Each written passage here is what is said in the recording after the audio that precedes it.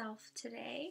Natasha is in Moncton. I'm in well, I'm right outside of Fredericton, and because of the length of the drive, uh, it's about two hours between our houses. We thought that we would record together once a month and then separately once a month, but kind of mesh the videos together.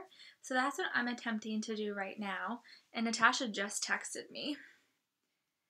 Ah, she's going out to dinner with her mother or mother-in-law, and so she texted and said, "When are when are you going to be recording?" And I was in the middle of setting up, so we're just you know linked somehow subconsciously. Thank you so much for new viewers who have joined us this week, and a huge, huge, huge, huge thank you to viewers who have been watching in past weeks, who have joined the Ravelry group, Wool Gathering podcast, and just for all of the wonderful shout outs that we've received. I personally wanted to thank Molly from A Homespun House. Uh, two episodes ago, she gave us a little mention and her thoughtful words were very much appreciated. Speaking of groups, right now we have 202 members in the Wool Gathering podcast group on Ravelry. So please, if you're so inclined, join us and introduce yourself there. My name is Mereoshop, Shop, M E R E O S H O P, on Instagram, and Natasha can introduce herself, I'm sure. She doesn't need me to do it for her too. Hi, and welcome to One Half the Wool Gathering podcast. I'm one of your co hosts, Natasha. You can find me on Instagram as Natasha Knits and on Ravelry as Natasha LeBlanc. You can find the Wool Gathering podcast group on Ravelry if you search Wool Gathering podcast. It will pop right up. Welcome. Thank you guys so much for joining us again. I just need to mention what's what's happening here. You just see me on the screen and you'll be seeing Meredith a little a little bit later or before me, depending on how we put this together. But as Meredith mentioned in one of our first episodes, we do live an hour and a half apart. So, though we can definitely make the commitment to be together once a month for a podcast, we would like to have more than one podcast out a month. So, every two weeks, we will have a podcast. And the in between podcasts are going to be a solo podcast that we will put together as one. So you'll see us separately. And then um, two weeks later, you will see us together. And I think that when we first thought about it, I, I think it's a great idea because it's kind of the best of both worlds. I know that some people enjoy solo podcasts and some people prefer co hosts. So you're going to get both of that. So hopefully it works out and you enjoy getting to see us individually in our own places and then getting to see us together as well. I guess I'm not really alone. I have Bean and Rosa having having naps on their papasan today. I've been kind of battling with the sun. I was all ready to go about an hour and a half ago, and I sat down, and within five minutes of trying to film, the sun changed uh, position, and I had to stop recording because I was just looked like an angel. You know, can't have that. So that's the plan, and I hope you enjoy this. So every two weeks, you'll be seeing a podcast come out, and that's how we're going to roll. I need to start by saying some thank yous to new and return, returning viewers. Thank you so much for coming back, and if you're new, welcome. I hope you enjoy and that you uh, get some inspiration from from our podcast. Just everyone in general. Oh my goodness, we have almost 470 subscribers on YouTube. We have 208 members in the Ravelry group. I mean, we're only on episode three right now, and I'm just overwhelmed and so, so happy with the response that we have received. People have sent comments and uh, PMs and Instagram. My Instagram has exploded, and I'm just so grateful to have had the opportunity to just jump headfirst into this with Meredith, and I think that it was a really good decision, and I'm just really enjoying the whole experience and journey of it. I need to make sure to thank Jenny from the Tiny Paper Foxes podcast. She gave us a little shout out on her latest episode, as well as Emily from Fiber Town. Emily and I are doing a swap, so she got mine in the mail um, earlier this week, and she showed us some of my adorable mini skeins and treats that I sent her. So I'm really hoping, I have my fingers crossed, that I have some goodies in the mail from her today. Uh, the mail should be here soon, so I'll be excited to check to check the front door when I'm done this podcast episode. So thank you very much to everyone. Just super duper happy, and this has been so much fun so far. I can't even imagine. Can't even imagine what more is to come. So, so I'm going to start with some of my finished objects. Uh, I don't have any. the couch and hat that I had started months ago in May, probably, it's not done because I can't find the pattern. Uh, so if any of you have the pattern for that hat and want to share it with someone who obviously has it somewhere but just can't find it, that would be wonderful. Uh, until then, it's going to remain an unfinished object or it's going to remain, I don't know, it's just going to stay in the bag, which is unfortunate. I do have a sweater to show you. I haven't worn it. Uh, I introduced this work in progress during the last, no, during the first episode, saying that I wanted to have this sweater completed to wear at Knit East. I completed it. It was on my blocking board in the back of my car on the way to St. Andrews which is a two hour drive for me, an hour and 50 minutes. And Andi of my sister's knitter blog had le- left a comment on my Ravelry page about this sweater saying, I hope you finish it. It's lovely and, you know, nice words, kind words. I did finish it, but I haven't worn it. I haven't even worn woven in the ends yet. I just I I like it. I just I don't think it looks good on me. So I'm not putting it on. But here it is. I'm trying not to catch it on fire. See? Ends to be woven in. Maybe I need to lose 20 pounds. I don't know. It's, tight through my shoulders. I have really broad shoulders and I just feel like I blocked it out to the best of my ability, but I don't know do you guys have knits like that? You you greatly anticipate finishing them and when you do you're kind of bummed because it's not what you expected. That's that's mine. Anyhow, my other finished object uh, I don't really have. I'm so slow and there's just so much going on lately. I do have my one harvest sock. I guess I'm moving into fin- unfinished objects territory. But here's my other one. It's coming right along.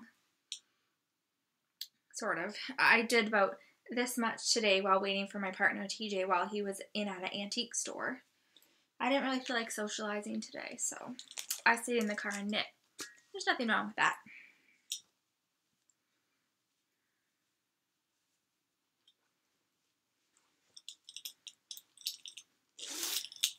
All right, the socks right now are pretty much the only work in progress, active work in progress that I have. I know I had talked about a hat by Truly Myrtle last time, but I haven't cast it on yet. One, okay, I succumb, succumb, I gave in to peer pressure and I cast on a Cozy Memories blanket.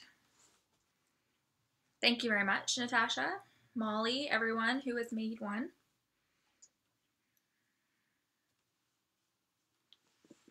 put it this way. This is what I have to date. So, it's really pretty, it's really addictive.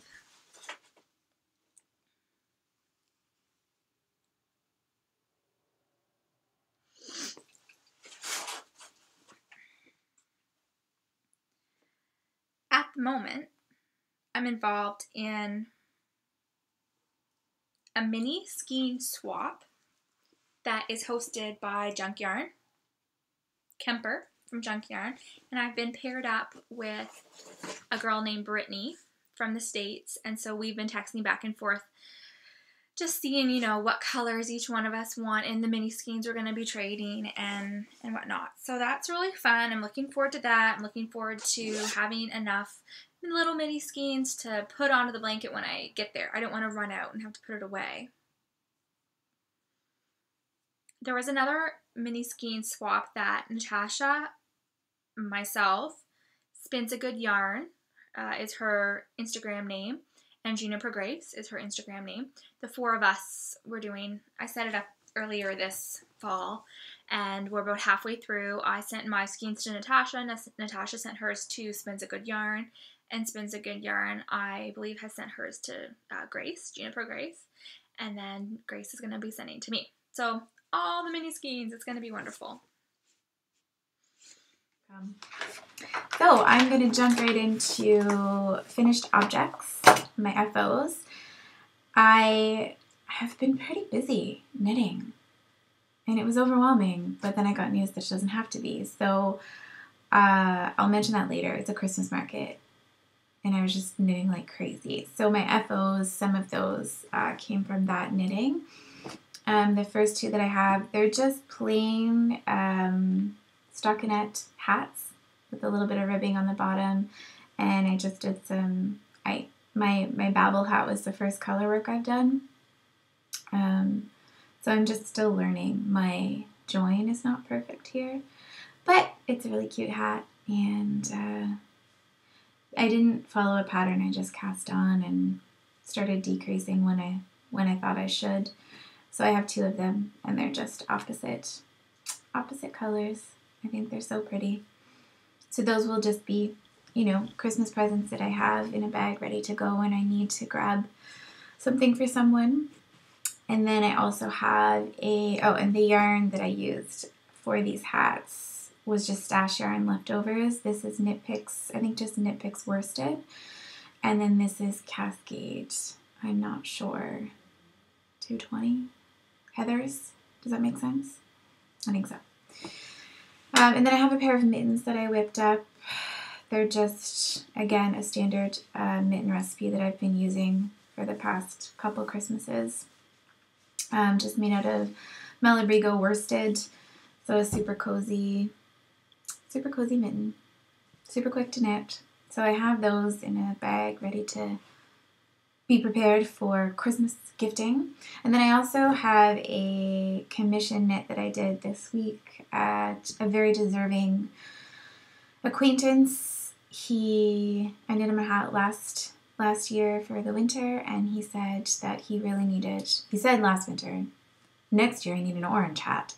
I think last year's was brown. And so I and he said pumpkin. So I went to our local yarn store and I was just gonna get a straight up pumpkin colored yarn and it was perfect. It was perfectly pumpkin. But then I saw this Bar- uh, Barocco Borealis, Borealis uh, tweed and I mean the base is pumpkin but then it just has these speckles of um, there's even there's some pink and just yellow and red. It's beautiful and knit up really quick. It's almost a chunky weight, and and I just used the same hat pattern um, as the other two hats. So he needs to come and pick that up sometime this week, and I'm sure it's going to be a cozy, cozy hat. He does a lot of, I think he bikes and walks back and forth to work, so he needs to be kept warm in our crazy Canadian winters. So those those are my Christmas knitting. I had finished last time we podcasted. I had almost finished my autumn breeze socks that Meredith and I were both working on. I just needed to put, I just needed to finish the cuff of the second one and then I needed to put the afterthought heels in. So I did that last week. Um, so the, this is, um, the yarn is from the Cozy Knitter on Etsy. This is the Autumn Breeze colorway. And I did, um, just two by two rib. They were toe up. I put in an afterthought heel, and I did the other one in red. So I think that's really fun. I just did some color management. Um, and I did have to, there wasn't obviously enough because it's only a stripe worth, so I did have to weave in some ends. And then I was kind of concerned was that a good idea or not because it's a heel and I don't want to worry about the ends coming undone. But I think it's fine. And I think they look really good. They look really good on too, and they're super duper soft. I've worn them once and then I uh, put them on the sock blockers after I washed them. So there's those ones. And then I also finished the second pair of uh, Cozy Knitter yarn that Meredith and I had ordered, the Trendsetter colorway. I finished those as well. And those ones were done at Knit East. I just had to put the, the afterthought heel in. So I did last Sunday, I think, in the afternoon. I just watched a couple of podcasts and I put the heel in. So I did four afterthought heels. And when you do four of them in one sitting, it takes a long time. Oh, anyways, uh, again, Cozy Knitter. Uh, this is the Trendsetter colorway, and it's just beautiful. Just beautiful. So I have two. Two of those. Done and done. Winter socks. Love it. So those are FOs. So I have one more FO. I have to say, Cheryl, if you are watching, Cheryl was interviewed on our Knit East episode. She's got a baby baby bump. Um, so this is for her, for her baby shower, which is this Sunday coming up, this coming weekend. So I, was, I want to show this because I won't be able to, because next time we podcast, it will be on a baby, maybe. So Cheryl, turn away if you don't want to see this. Please turn away. Thank you. This is knit. I bought this yarn at Knit East, so this is part of my uh, acquisitions from Knit East. It's handmaiden fine yarn. Uh, it's MCN, merino cashmere nylon, 81, 9, and 10. The label is absolutely gorgeous to this. Oh, it's beautiful.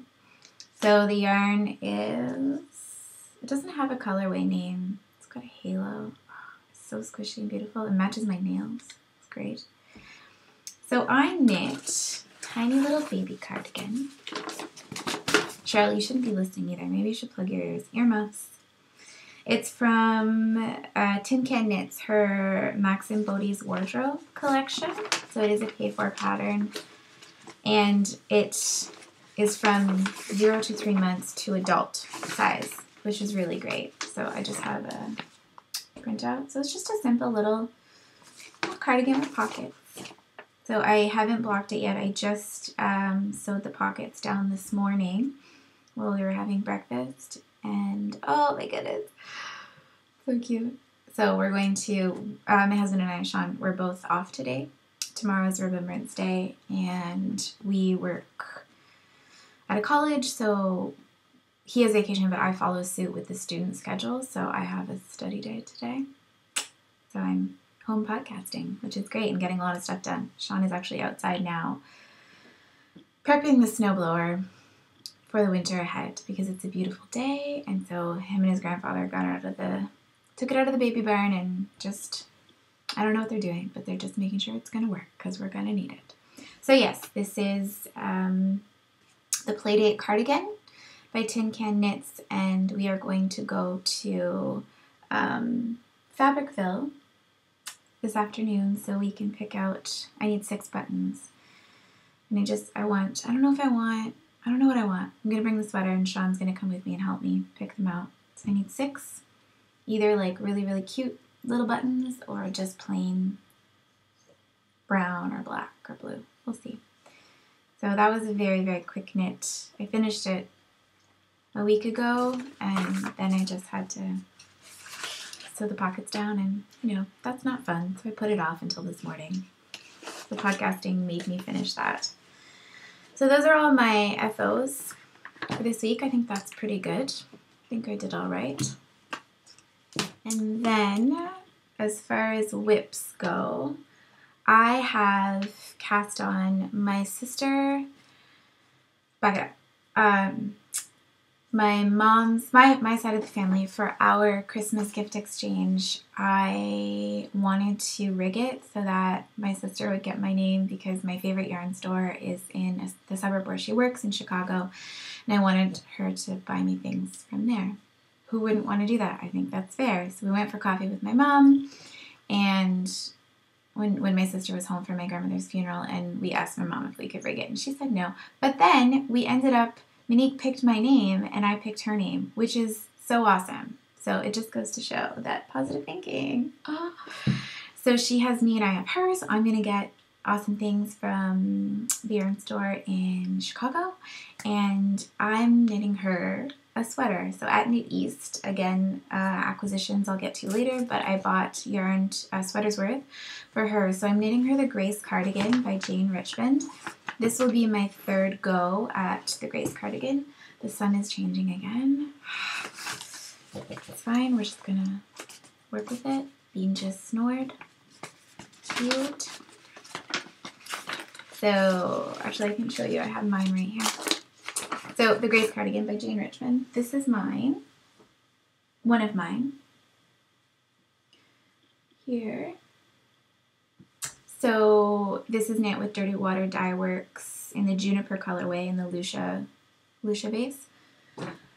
Um, and Monique's, she didn't have at Knit East when I purchased it, she didn't have uh, Monique's favorite color is purple, so I was going to knit her a purple sweater. Although she said that, oh, I like that color is fine. Because she knows I'm knitting this for her. She picked it out. She tried on all my sweaters and she said she wanted a cardigan.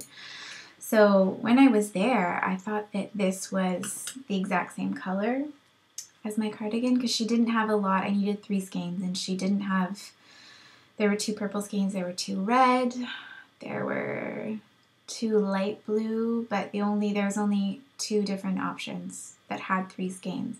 So this is um, Dirty Water Works Lucia in the Deep Sea colorway. This is the ball band. Um, so Deep Sea colorway. So I got three skeins of that, and it, until I brought it home or held it up against my sweater, I was sure they were the exact same color. I'm like, how is this not juniper? But it's not. They're quite different. Oh no, see, they actually look very similar here. It's funny. This is really blue, and this is a lot more green. There's a lot more green to it. So I've cast on and this cardigan is great because you really just have to pay attention for the yoke because it's when you're doing uh, the lacing pattern and it's just, you know, yarn over and knit two together. But you have to make sure that your yarn overs, you start and end properly. So I've just got um, just this little bit started and I just have my progress keeper here. It's just, I bought it at Michael's. It's just a pretty little pretty little flower that's totally unnecessary, but it's there. And I need to have this in the mail in a month max. And that's the other thing. I can't imagine putting this in the mail and saying, see ya, hope you make it to Chicago. That's going to be a tough, tough day. Tough day. Can't even, can't even think about it. Just going to have to wait till it happens and just let it happen. Hope that she gets it. But I love knitting. Like I said, it's the third time. This will be the third time to knit this cardigan. And once you get that yoke done, it's just knit, knit, knit. It's fingering weight, but I find it still goes by super fast. And this is in my uh, little skein in the big wool bag that I ordered last year, I think. So that is one whip. And then I have another Christmas hat on the go just to have something cast on that I don't have a sock cast on right now. I need to cast on Megan's um, Christmas socks, which I can't show you. I have them in the bag here that I made. So technically that is a whip, but can't see them until they're done. Or never. Till Megan, maybe Megan can come on after Christmas and she can show you her socks. So I just have another hat uh, cast on in the same blue, the Knit Picks worsted and then I'm just going to do, instead of doing the color work, uh, little V's, I'm, I'm just going to use a tweed and do some striping. And I think this one will be for Sean's uncle, who I have uh, for our Christmas gift exchange with his family. I'll just throw a hat in with his other gift. So I'll just do a couple of nice tweedy stripes and then the blue. I think that will look really nice. So I'm just knitting this on size 7 needles and it's just my car project for now because I don't have anything else. This is a bag. It's in um, Maple Mousse Fibers bag that I got at Knit East. It's it's nice, sturdy. It sits on its own It has a square bottom. It's it's great, and I think it's just beautiful. With the leaves in the tree, and a nice handle, and she has her mousse her mousse stamp, and the inside is really nice as well. Little birds, little chirp chirps. Their whip, and then I have one more, which I haven't showed since I first started it. Cast it on is my Cozy Memories blanket, and I haven't worked on it in a couple of weeks because I've been busy with Christmas knitting. But I did quite a bit when I first cast on because I mean it's addictive. It is just crazy addictive, and I've just started picking up a new square, so can't tell you how many I have. We could count, but that would take a while. So this is what I've got done. So I think I'm just gonna, this is square one down here with my little octopus progress keeper. He's super cute. I think Meredith also has an octopus on hers. I don't know if she's gonna show you that, but there's a story behind it. We watch Wine About It Wednesdays with Matt Bellassai. You should check him out on YouTube. He works for BuzzFeed. It's hilarious and six corns a cob. No, six corn on the cob, an octopus in a pear is a random text that you could send someone because that's what people do when they send all the little pictures. Doesn't matter. We have octopus. Was that how say it? I don't know.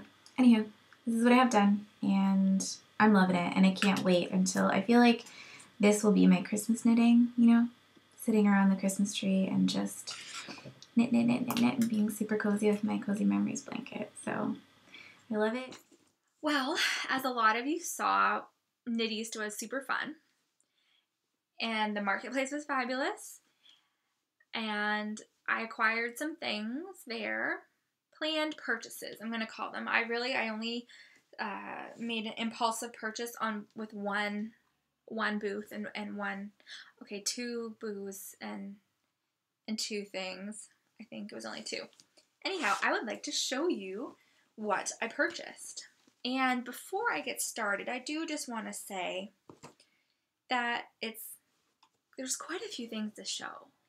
And I don't want anybody to think, oh wow, look at all the stuff they buy. They must have all this extra money to spend, or I wish I had all this money to spend, or that's a lot of yarn, that's all the yarn I'd buy in a year, or whatnot.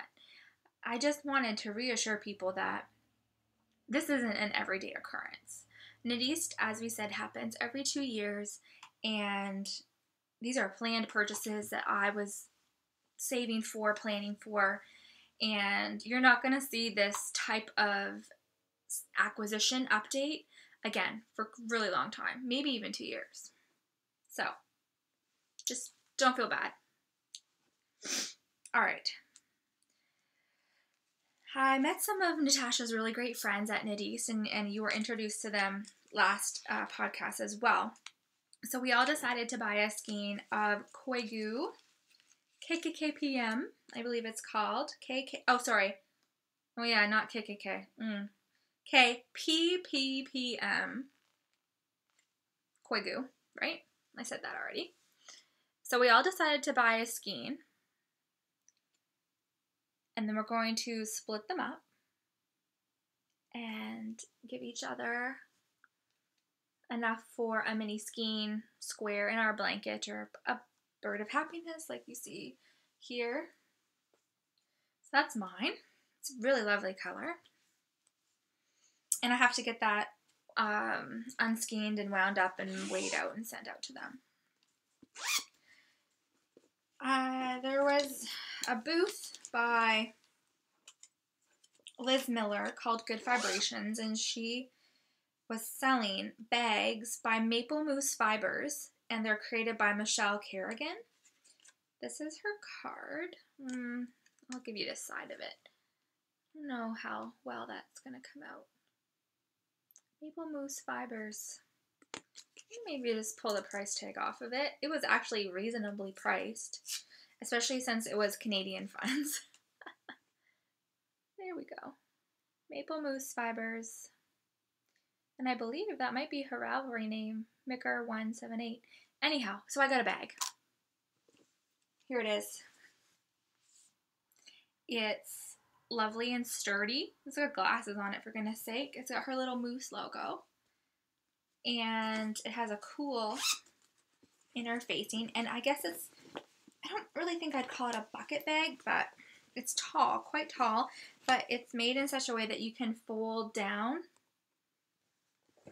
and drop it. Sorry. pull down the top and it sits nicely. I just love the polka dot fabric. Anyhow, this is where I'm keeping all my mini skein goodies for right now. So put that back. So that's wonderful, Michelle. I love your bags, and I definitely would buy another one. It's just very well constructed. The only thing that I should say I added to the bag was a little zipper pull. It's a pineapple. Because it didn't have one, and the zipper is itty bitty, and it was just, I love the zipper pull. I can thank Molly from a homespun house for that new addiction. Okay, so there's that. I'm not a huge Christmas decorator, but I and I but I do like to create things at Christmas time. So I purchased a pattern from the Fleece Artist booth, and the pattern is by Church Mouse Yarns or Church Mouse at home, and it's called the Woolly Wreath and Garland in two sizes. So that's what it looks like. And this is the yarn I purchased to oh, go. So it's red and it's bright and cheery. And the color, I don't know what it is, but it's the Slubby, Schlubby, there's no C, Slubby Mix Yarn. 50% BFL, 50% Merino, 100 meters each, or 125 grams. So it's a really fun, same colorway. Maybe that will look better. Yeah, so I think it's not to give the pattern away, but it's a very simple back and forth pattern. And I went to Michael's, which is our craft store like Joann's, and I purchased um, like a round metal wreath hoop, so I'll attach it somehow. I don't know. We'll talk about that later. My friend Alan, I'm gonna call her Alan. That's a kind of an inside joke. We call each other Alan. She had a wonderful little cardigan called Same Same But Different by, I'm not sure who. I'll put it on the screen here. And so I got some yarn. I got some yarn to make that cardigan. Same, same, but different. Here's sort of what it looks like. It's cute. Has some really cute little ruching at the shoulders. And the yarn I purchased is from a company called Dirty Water Dye Works. Here's your card.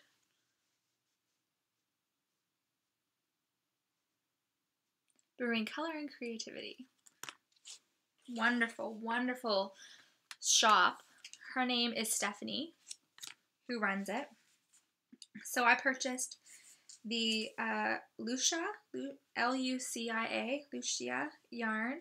It's 75% superwash merino 25% nylon. And it's really good yardage 424 meters or 464 yards and 100 grams. Oops. The color here looks more, the color on the screen looks more uh,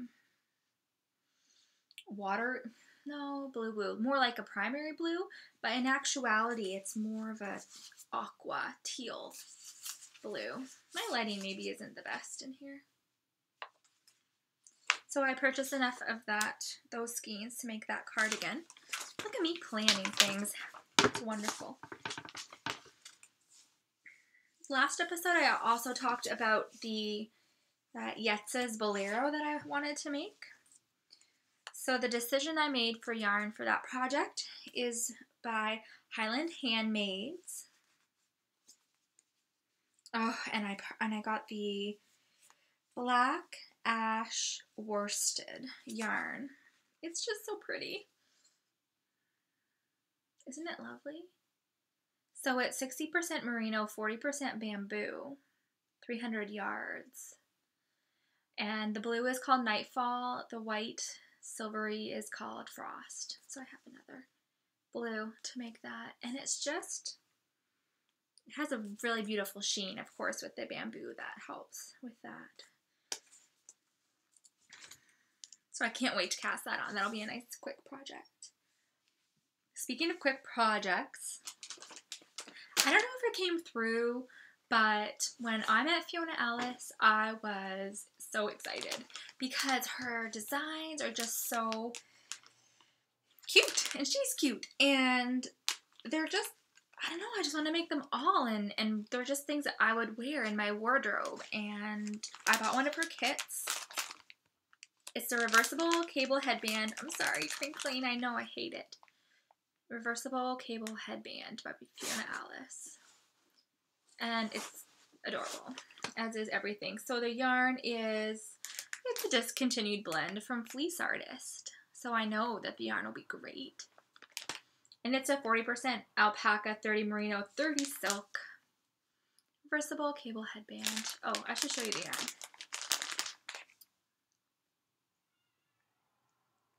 There you go.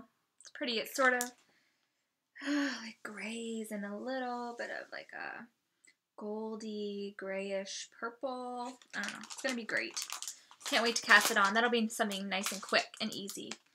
And maybe I'll wait to the holidays to cast it on because I'll be here off work by myself for a couple weeks. Okay. In one of the very first episodes of Tiny Paper Foxes podcast, she has on a short sleeved sweater called Wendy's Pullover. I'm pretty sure that's the one. Anyhow, I bought yarn, you can see it here, to make that. And it's from Sheldridge Farms. No, Sheldridge Yarns. And they are in Ontario. So this color is called 1506020 brown. It's a really nice brown. It's almost a purpley brown. And I bought enough to make that pullover, Wendy's pullover, I believe. And they, Sheldridge Yarns, have awesome customer service. So I was a, I needed let's say seven skeins, and they only had five there. She mailed me the other two for free. I paid for them there. She mailed them, which is great because in Canada, postage is. I mean, you have to put it into your budget. It's not something little that can be squeezed in. It needs to be budgeted in if that if you do budgets. While I was there, I also made the mistake of feeling this yarn. So soft. Touch Fine, Shell Pink. It's a heavy two-ply lace weight or a light fingering. It's 525 yards and it's 10% cashmere, 80 superwash merino, and 10 nylon. I don't know what it's going to be yet, but I think that really, if that's the only spontaneous purchase I made during the weekend, I'm doing okay. I'm trying to think. I think that's everything I bought. I bought a Yarnet. Have you guys seen these? A Yarnet. You put your yarn in it and then it comes out of the holes.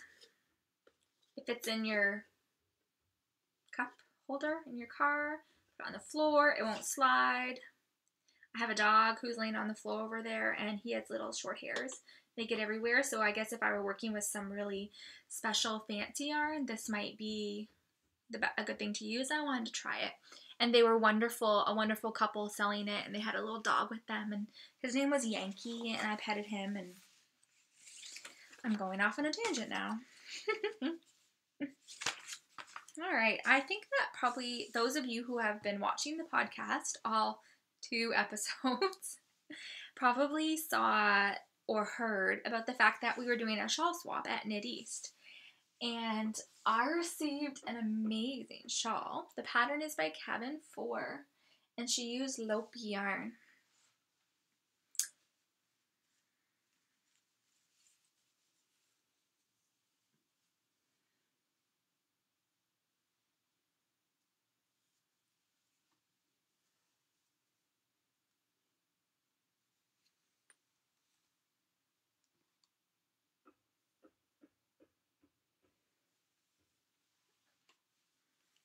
So, unfortunately, my partner wasn't able to attend Knit East, but I was very thankful she did the grown up responsible thing and mailed my shawl to one of the organizers in advance.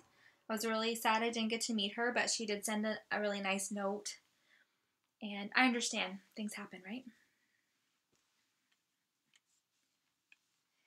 My partner received her shawl and I hope she loved it. I'm going to put I did put some Ravelry pictures up to show. Uh, it's the Glam Shells shawl, and I used Heidi's by Hand yarn. So you'll have to check out the pictures because it's gone. I don't have it anymore. But she does. All right. I'm going to move right into acquisitions right now because when we were at Knit East, um, four of us, Meredith and I and two of our friends, we are all knitting a Cozy Memories blanket. So we each bought a skein of Koigu that we're going to split into mini skeins and share with each other so that we have our Knitties Koigu in all of our blankets. So I bought, um, doesn't have colorway names, but it's P714 271. And it's just a beautiful speckled kind of mauve and then purples and greens and gray. It's just gorgeous. So it was fun. And we all picked them out together to ensure that we were not going to have the same skeins, obviously. And it's just so soft and squishy. I love it.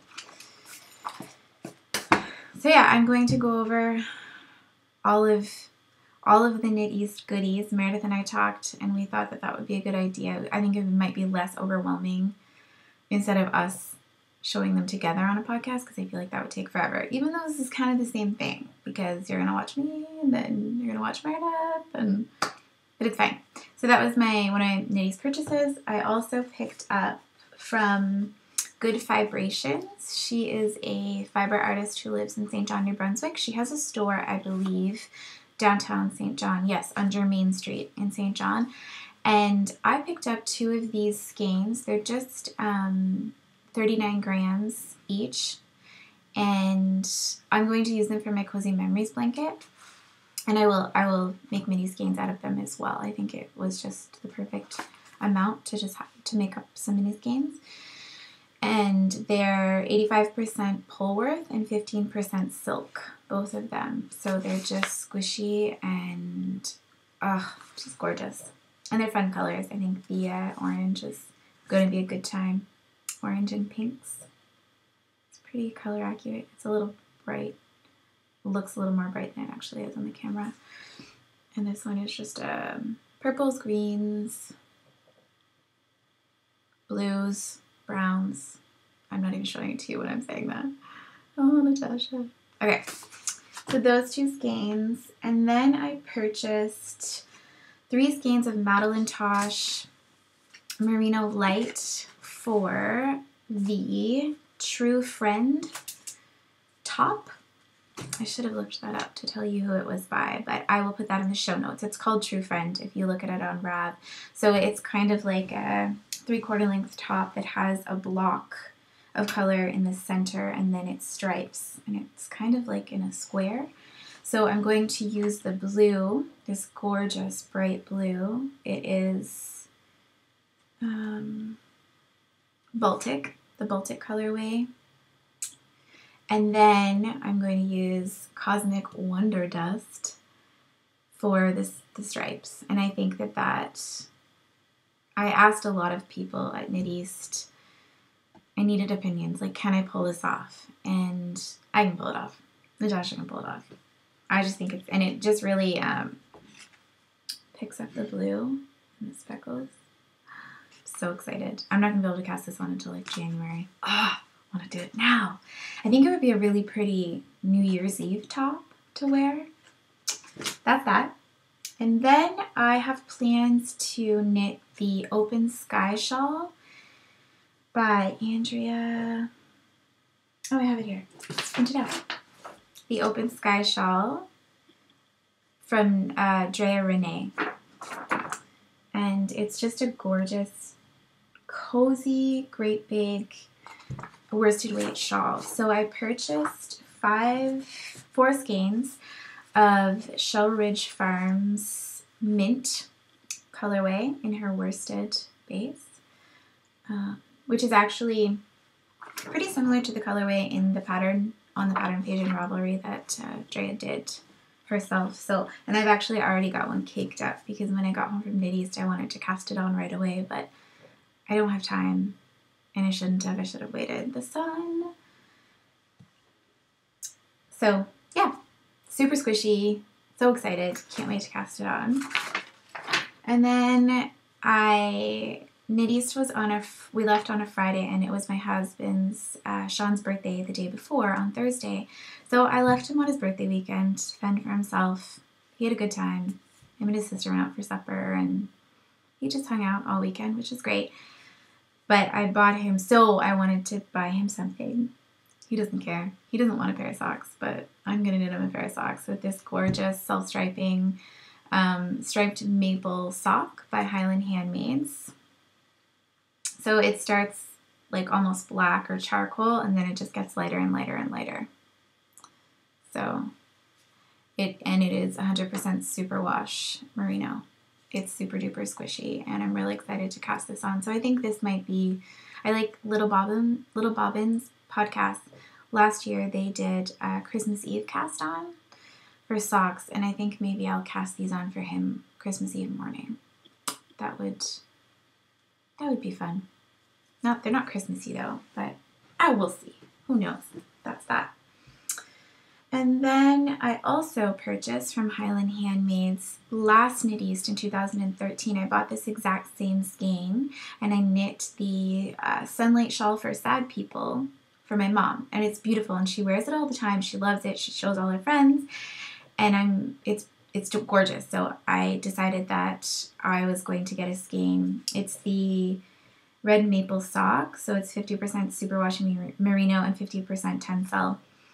And I was just looking at all of the colorways that she had, and then I saw this one, which is the exact same one that my mom has. And I wanted to get it. I'm like, no, you don't need to have a matching shawl with your mom. But then I, I wanted it. So mom and I are gonna have matching shawls. Oh, it's gorgeous. And it's so shiny.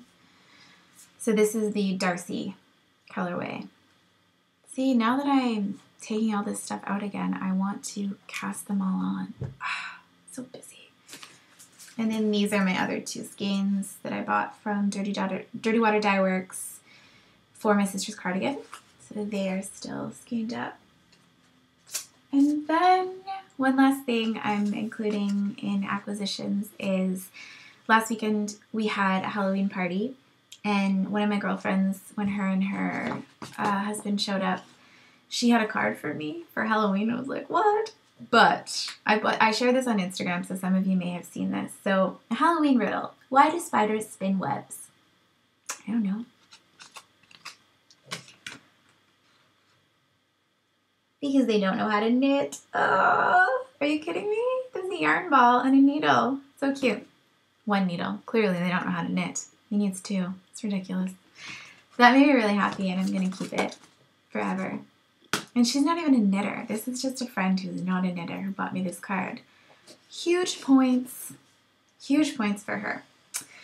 So, and then also, I think we might have showed these. I got these, um, can't even remember who they're from, but just little stitch markers from Knit East as well.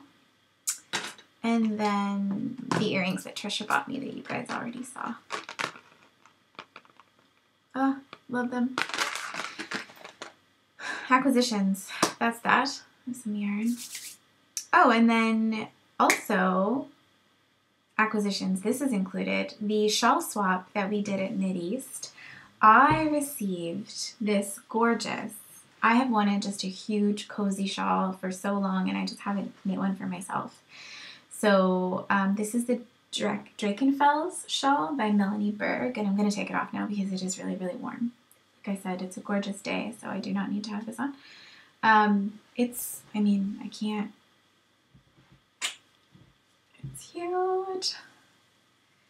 And I asked uh, Kelly from Celtic Cast On, she has a blog. She was actually my shawl swap partner and she knit this for me.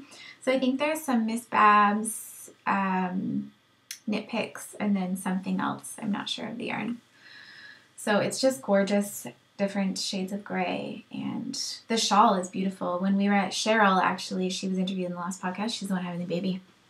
She received the exact same shawl. Her that's what her partner knit for her. So what are the chances that we're really good friends and we both got the same pattern? So we walked around Knit East all weekend and everyone we couldn't get 30 feet um, through the Algonquin lobby without knitters stopping us and asking us, What pattern is that? It's beautiful. So I think that I'm sure if I should do that, I should check the Ravelry page to see how many people have cast on in the past two weeks because I'm telling you, this was a hit. So thank you, Kelly.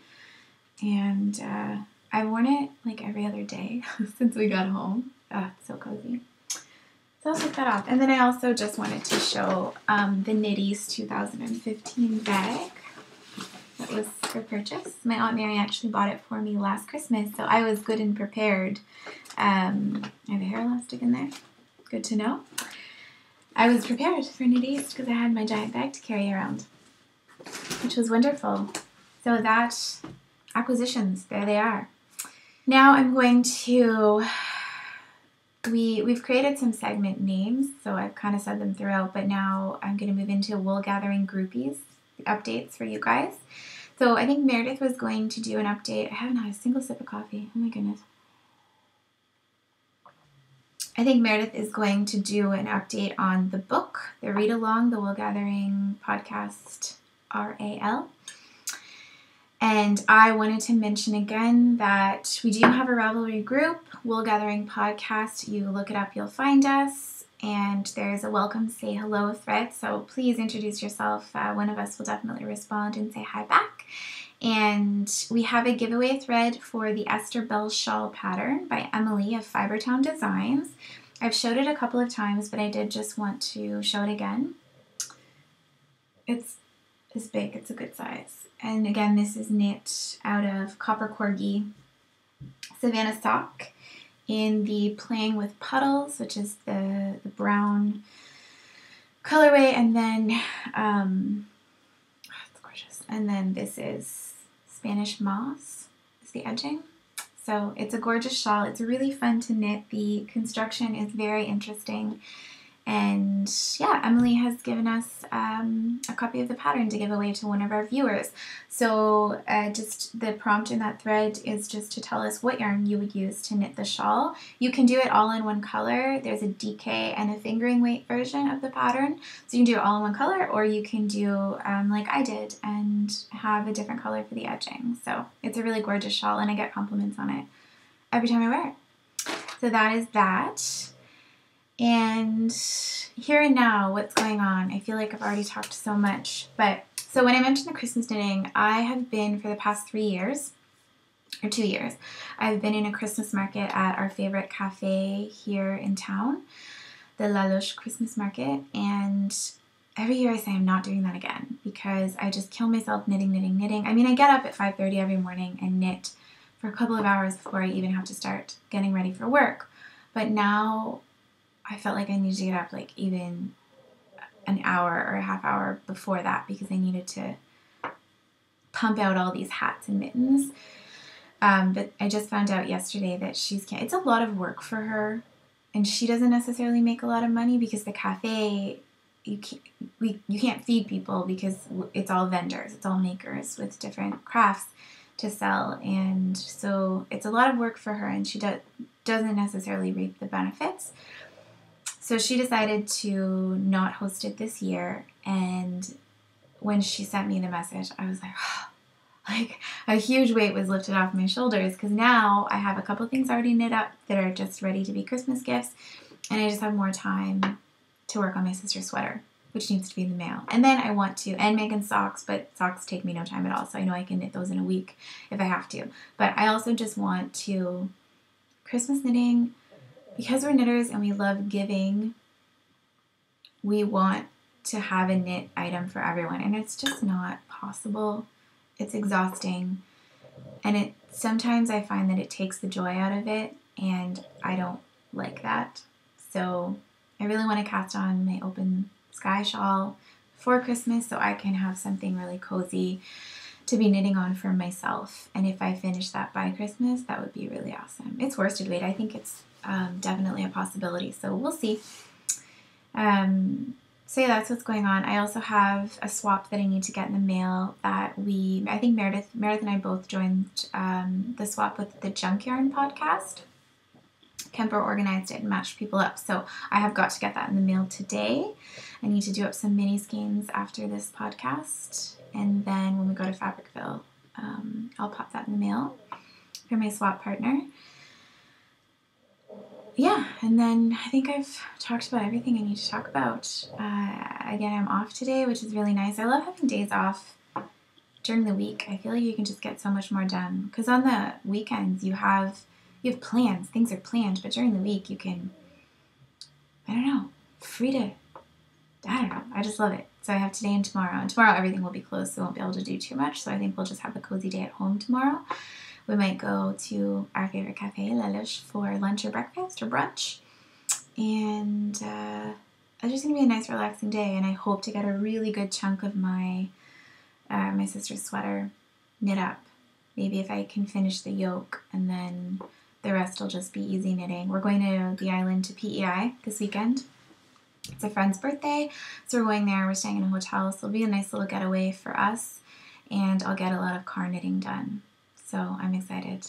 I wonder if Starbucks has come out with their Christmas drinks. Maybe they will have because it's after Remembrance Day. Oh, I could have a Christmas latte and knit. Oh, I think I already mentioned this, but to our Ravelry groupies, thank you so much because, uh, yeah, I did say that we have 200 members, and it's so cool getting to know you guys. And I just, I feel so appreciative that people have been watching and joining the group and subscribing on YouTube. And I honestly thought that nobody was going to watch. I, I don't know. I guess maybe I didn't want to get my hopes up. I just, I'm so thankful that you guys have I don't know, approved of what we're doing and bought into it and have subscribed. I was supposed to mention the Big Magic Book. This is where I was supposed to talk about uh, the book by Elizabeth Gilbert. But honestly, I haven't read anymore. It's so good, but uh, I'm, lis- I'm listening to the audiobook and I've had such a busy week that I haven't had any time just to put it on and absorb it. Maybe I'll take a bath tonight and and put on in the washroom and listen to it there, but I wanted to talk a little bit about my here and now. What is going on with me here and now? I don't know if we mentioned it last time, but I work part time at a yarn store in Fredericton. And all the girls uh, that work there are asked to teach a class at some point. and I started teaching. It's a two week class. It's on knitted Christmas ornaments or knitted Christmas balls. It's by it's based on the Arne and Carlos book. I think it's called 55 Christmas balls to knit. Anyhow, I have eight wonderful students. You know who you are. But I honestly feel that yes, I know how to do this stuff myself, but really, like, what qualifies me to teach these ladies about this? You know, I feel like it should be more of a like, like a Christmas ornament symposium where we all come and talk and learn from each other, you know? Maybe maybe a facilitator is a better word than a teacher because I learned, you know, something from one of the students about uh, holding your yarn, uh, one color in one hand, one in the other, tensioning it correctly. I learned that. I didn't know. So I just feel like I'm not qualified, but I'm enjoying it and I'm enjoying their company. So we did our first half last week and then we're going to finish up this coming week. I'm going to try to get a picture of everyone and, and put it right here, maybe.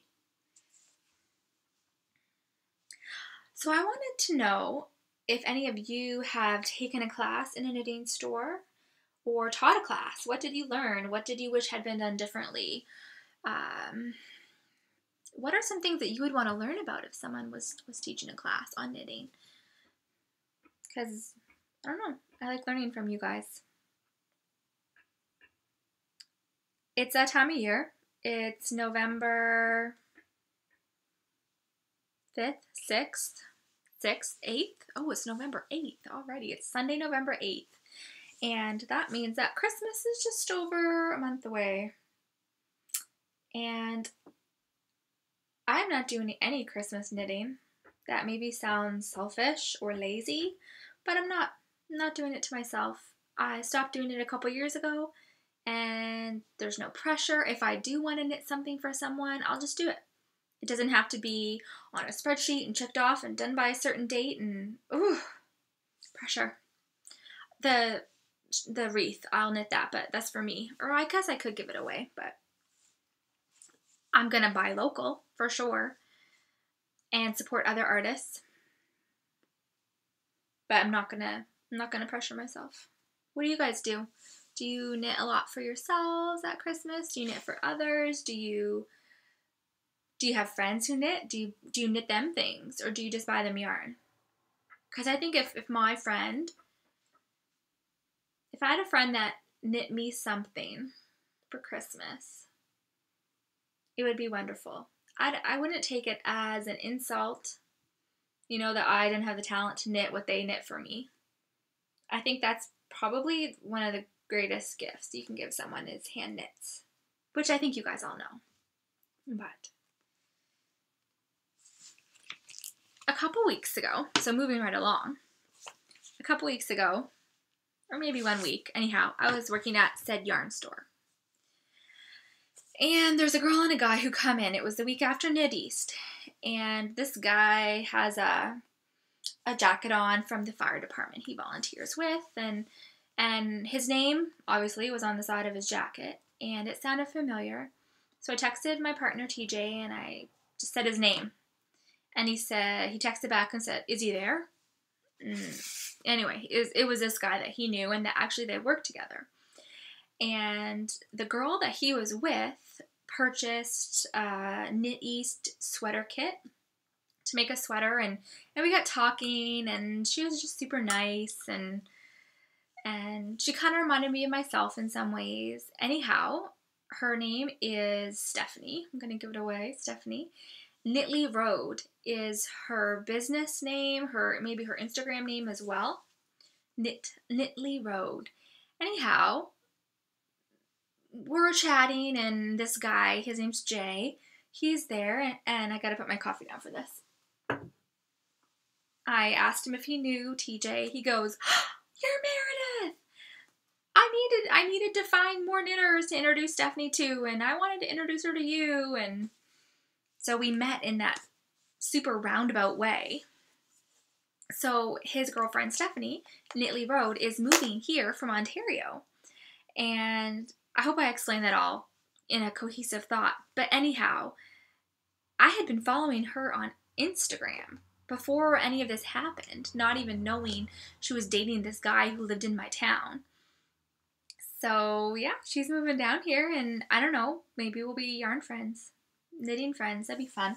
It's always nice to find people that you can connect with and who maybe like to knit the same kind of things you do and appreciate the same patterns and the same types of yarns and yeah, just kindred spirits, right? As Anne of Green Gables would say.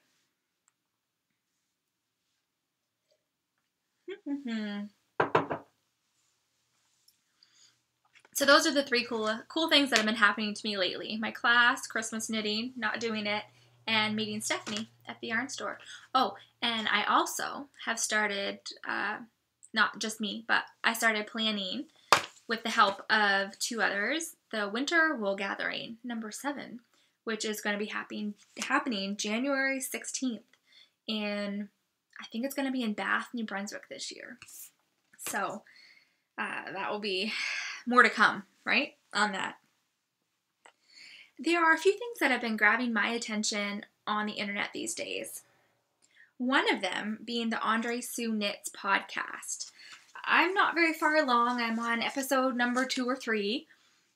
She's talked about uh, tying her dog to the back door. She showed us some of her paintings, some of her hand dyed yarns, and I just find her very pleasant and enjoyable to listen to, and she's interesting. And yeah, Andre Sue Knits. Give her a listen. There have been some goings on in the knitting world lately, and usually I'm late to the party. I find out about knit alongs when they're over or almost over. When I'm seeing everyone's finished objects, I realize, oh, it was a knit along. I should have been participating. But there are a few things that are going on right now that I wanted to let you know about in case you're like me and always late to the party. The first one, it's a collaboration between Melody Hoffman, or Mandarines as she is called on Instagram, and it's called Six Bits Storybooks. This is the, hope you can see this all right. No, that doesn't really compute. Anyhow, so 6bitstorybooks.com is their website. And the first, it's a mix of pa- knitting patterns and stories. Uh, and it's a it's a digital magazine essentially. And the first one is called Unearth, I believe. Yeah, so it's designs, imagery, location, words, learning, and tools. Right, so Melody, and then the other, well, actually, the lady that started it is Melissa. And I believe she's Misky Knits on Instagram, perhaps. Anyway, beautiful patterns. Unearth is the first one, I believe. Yeah, it's an innovative knitting publication flowing from journeys of storytellers, knitters, photographers, writers, designers, friends, and nature. Slow down, observe the beauty around you, love the moment you can create. Yeah, so it's a digital quarterly from knitters who love to immerse themselves deeply in their knitting experience. Readers and contributors make new discoveries and meaningful connections with yarn, with yarn providers, designers, writers, and the creative community around them. It gives attention to the origin of all the elements that are integral parts of knitting story of, of knitting's story. Mm. So I'm excited. I have the first the first uh, quarterly issue, and you get a download link to download all the patterns, and they're just lovely, sweet designs. So that's called Six Bits Storybooks. The second thing is called Wovember. And Wovember is essentially short for Wool November. And Wovember is a collaboration between, again, a collaboration between two really wonderful women, Kate Davies and Felicity or Felix Ford.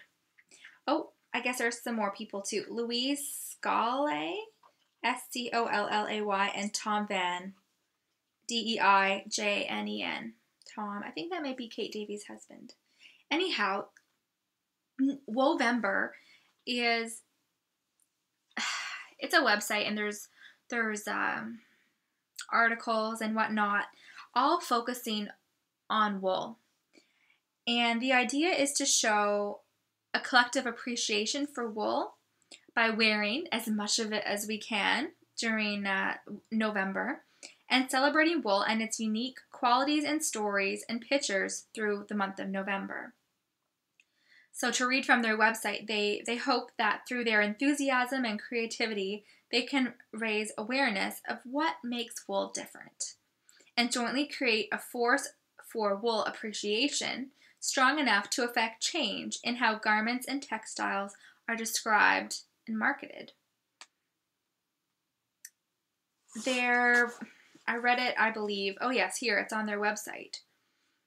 So they talk about a, mis, a misappropriation of wool and how, you know, if you if you go to jcrew.com and you search for a wool sweater, a sweater is going to pop up, but how much wool is actually in it? You know, is it mostly a synthetic fiber with 5% wool? Well, should we really be calling that a wool sweater? You know? I just I think that yeah, recognizing wool is a as a, a versatile and sustainable and renewable product is something that I want to be a part of and and helping to raise awareness around it and just it's a great initiative. So go to their website W O V E M B E R dot com and just read what they have to offer and, and see how you can get involved as well. Another thing that's happening also by Kate Davies is her Seven Skeins Club. And it was a club, a yarn club that she created. And the yarn is beautiful. And I can't say the name of it. It's B U A C H A I L L E. It's a Scottish word. Here's the bag. And we've had three pattern releases. So it's been over a month since it's released. Excuse me, three pattern releases with different patterns that go with the corresponding yarn. Sorry for the noise. The colors of the yarn are just gorgeous. Oops.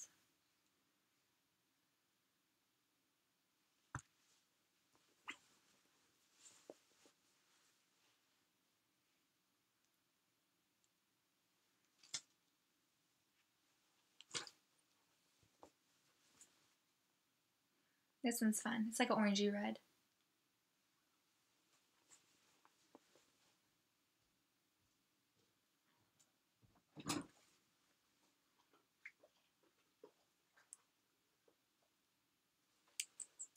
Gotta get this camera thing worked out, knowing which direction to put things.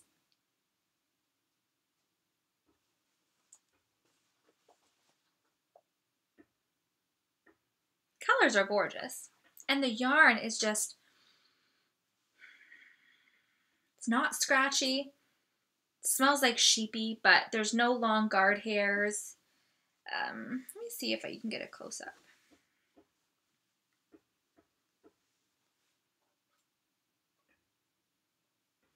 It's just very soft. Softer than I imagined it would be. This is my favorite color. This one and this one together. No surprise there, I like the neutrals, or the lighter. So the colors are Yaffle, Squall, Highland Coo, Between Weathers, Haar, and then a couple other names that I I just wish I was better at pronouncing, but I'm not.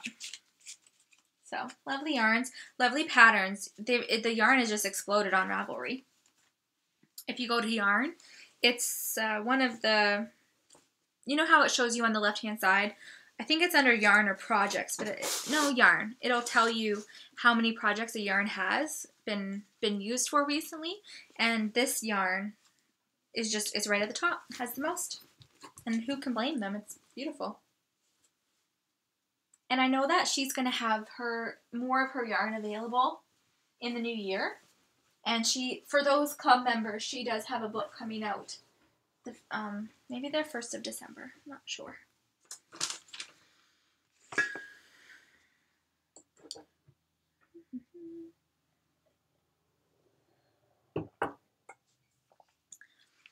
the last thing I came across, totally by chance, called Interwoven, and it's a project, again, what is with the collaborations lately? These all have been collaborations. I mean, Seven Skeins, she, it's her yarn, but she was working with her husband and some other people on it. Yay for collaborations. This podcast is even a collaboration. What would we do without each other? So the last one is called Interwoven, and it's an ebook collaboration between 3191 Miles Apart bloggers, Maria and Stephanie, and Quince & Co. And so the 3191 girls don't knit, but they love yarn. And so they've created really cool projects like necklaces. I think they're mostly necklaces. Let me see if I can show you. I know it's so hard. It's like blinded by the light. Oh, there we go. Yeah, Quince & Co. So those necklaces are made with their yarn. Cool? I might buy it. I'm not sure. If you buy it, let me know what you think of it. And if you make anything from the book, I'd love to see it.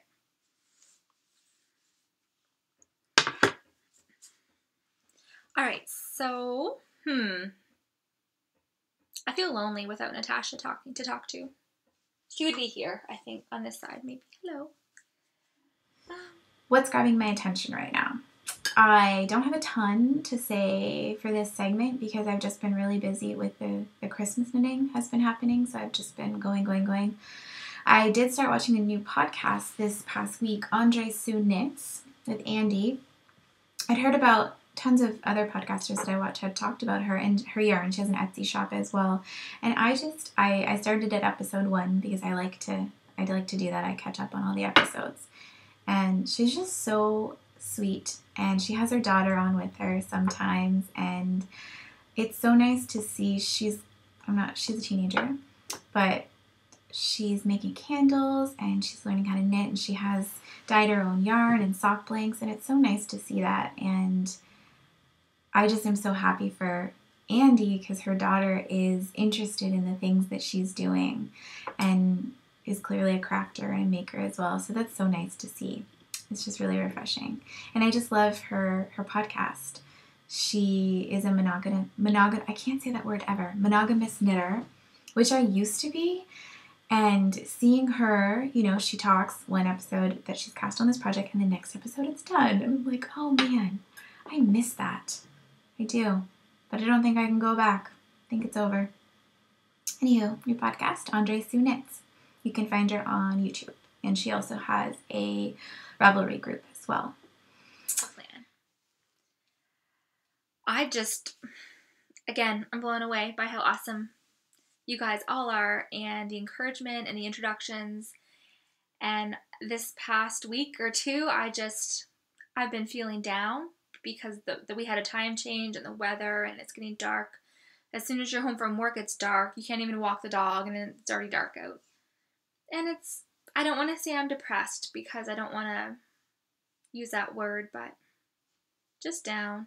And seeing everybody that's subscribed on YouTube, the comments on YouTube, how many views there are, even seeing you guys join the Ravelry group, comment, reading your blogs, looking at your finished objects, it's just really encouraged me and lifted my spirits. So, thank you so much. And we're going to be back. We're going to record November 22nd or 21st here in Fredericton or in Fredericton. And until then, happy knitting and knit on. Natasha? I wanted to mention just having having started this podcast, I need to say how appreciative I am of social media, of Instagram, Ravelry, and YouTube, and just the support from this community of knitters. It's incredible, and I think that Bean is snoring. Sorry, that was a big one. I think that we just support each other and are able to support each other and out reach out to each other because of social media. And that's a really great thing. And yeah, I'm it's just been really overwhelming and exciting and just a blessing to have this opportunity to like to do this for you guys and with you guys. So, and one last thing I need to mention is the music that was in our Knit East episode. I think Meredith mentioned it in the Ravelry thread, but my husband Shaun is a musician, and that is his song called Start Something that is playing in the Knit East episode. And he's currently working on a jingle for us to play at the beginning and end of our episode. And I keep nagging him to get it done and record it. And he's like, I have to be in the mood, Natasha. I'm like, well, just think of Meredith and I while we were doing the podcast on the couch and think of sheepy things and you'll be fine. It just needs to be a little, you know, jingle. But so I'm hoping that because we have, he has the whole week off, he has vacation. So I'm hoping that he'll, I don't know, maybe I just need to put some yarn all around him or something when he's sleeping. When he wakes up, he sees it, and then it's just like, oh goodness, I need to write that jingle right now. And he Anyways, so look for that. I'm hoping that it's going to be in this episode if we can get him going on it today or tomorrow. If not, it'll, it'll definitely be in episode four. So this episode should be out this coming Saturday. I need to look at the calendar, which is the 14th. And then Meredith and I will be recording together next weekend. So that episode will be out on the 28th. So every two weeks, you will see an episode from us, one together and one separate like this. And I really hope that you guys are enjoying the Wool Gathering podcast. We also have the Wool Gathering Collective website. So our blog is there as well as links to the episodes. And um, it's just an outlet for us to have everything in one place. So thank you so much for watching, and I super appreciate all of you, new and returning viewers. Have a great week. Happy knitting. Bye.